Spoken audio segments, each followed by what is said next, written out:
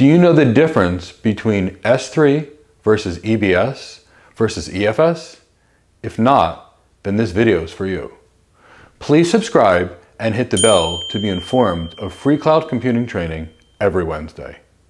Hi, I'm Mike Gibbs and I've been in tech for over 25 years and my mission is to make cloud computing technology simple and available for engineers, architects, and technology executives. We find that many aspiring cloud architects have difficulty differentiating between S3 versus EBS versus EFS.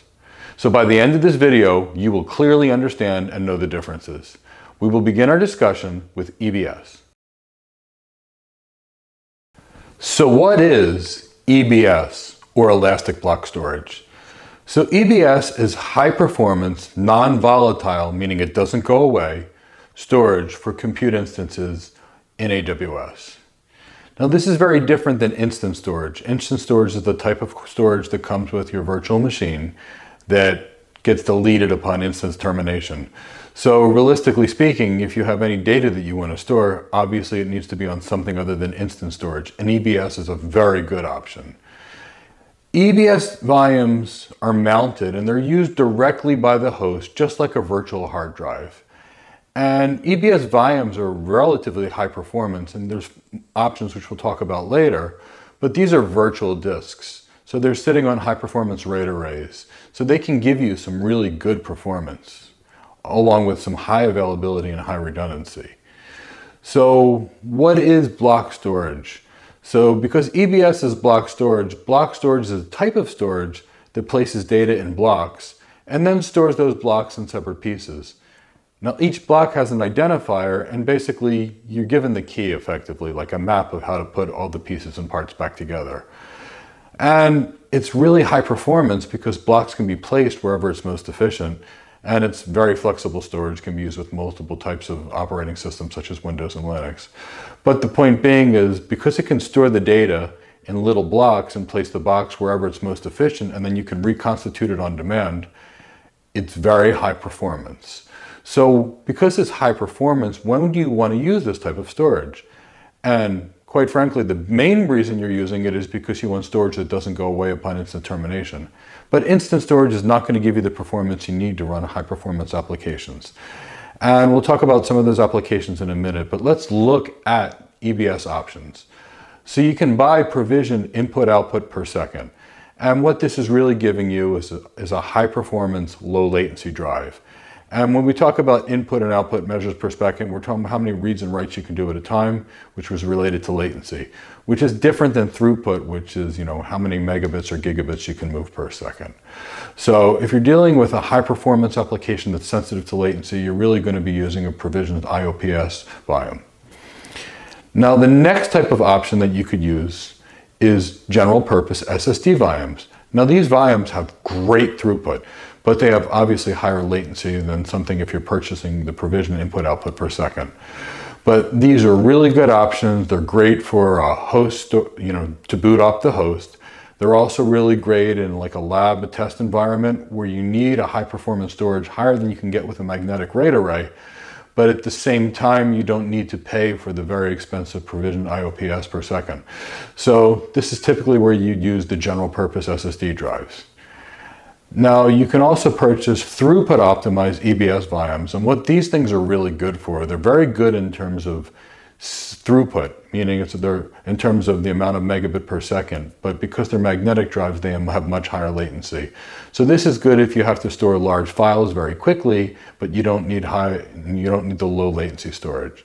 And then your last option is a cold hard drive, which uh, realistically speaking, this is designed for low frequency read and writes, and you're probably not going to use it for anything other than storage of large amounts of data that you don't need access to quite that often.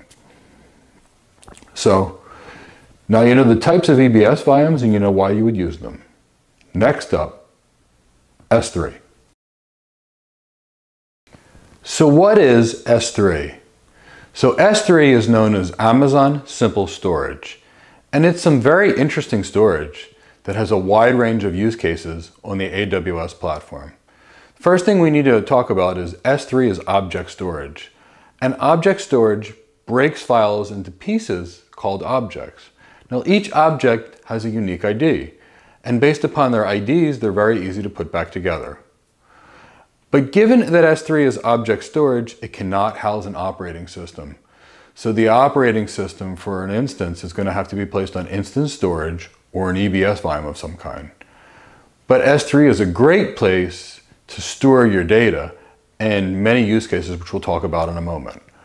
The first thing you need to know is S3 is high availability, but really high durability storage in that it's available 99.99% of the time, but it has 11 nines availability, which means 99.9999 all the way to nine more places. So what that shows you is, you know, you're probably going to be able to access your data when you need it with four nines availability, and it's definitely going to be there, or nearly definitely. Um, even if it's down, it'll still be there later. So I mentioned that S3 has a lot of uses on the AWS platform. So let's talk about some of those use cases very briefly. It's a great place to back up your organization's data.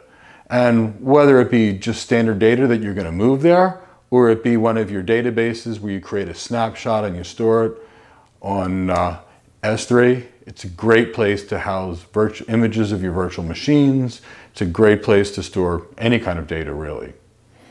It's also great for static website hosting. For dynamic hosting, you need something that's a little different. And it's great for distribution of content, software, media. And because you can store so much on it at a relatively good price, it's great for disaster recovery planning. But it also integrates uh, with Redshift and a few other things for some big data analytics. And that's, you'll see, as you can see, S3 is used in a lot of use cases with Amazon. And uh, it's a great place to host internet applications. So S3 has a lot of uses, but the key to remember, it's a place to store things, but you can't store an operating system on them because it's object storage. Next up, EFS. So what is EFS? EFS is a high performance network file system. And that's the key. It's a network file system. So that's when you're going to use this when you have 10, 20, 100, 1,000 computers that need to access the same data on a network. So high performance network computing. And EFS volumes are high throughput, low latency because they have high IOPS, and it can be very high capacity. And it's elastic in that it'll adjust size on demand. So you really don't have to worry about running out of network storage, which is wonderful. Now this is designed to be used, again, by many computing instances at the same time. So you're only going to use this when you need to store a lot of data on a network at a high performance, low latency base where multiple users are going to use it. And it's POSIX compatible. And what that really means in today's world is that it can still interoperate with some legacy systems. So in summary, let's talk about the three types of storage again. We have EBS, which is high performance storage for compute systems. So high performance storage for the host. We have EFS, which is high performance network storage. So again, this is high performance network storage when multiple hosts need to access the same data. And we have S3, which is object storage, which is used for backups, context distribution, static website hosting, and a whole lot more applications on the AWS platform. Please like this video and subscribe to our channel so we can bring you more free videos on cloud computing. Please remember to download the free AWS practice exam for the Certified Solution Architect Professional exam. Thank you so much for watching. We look forward to seeing you next Wednesday where we'll have a new video on cloud computing. Thank you. We look forward to seeing you soon.